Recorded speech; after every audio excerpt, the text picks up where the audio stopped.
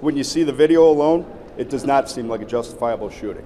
But as I've said, and I'm not going to try the case in the media, um, there's certain things that I know uh, that, quite frankly, nobody else knows. Um, I'm not going to share that information, but as I said, I evaluated this case to determine whether or not it was a case that I was going to take, and after evaluating it, speaking with my clients, speaking with experts in the field, um, I came to the conclusion that it's a case that is absolutely defensible. He's prepared to defend himself. He is uh, very scared about the consequences that he's facing. He's concerned for his uh, wife and his children.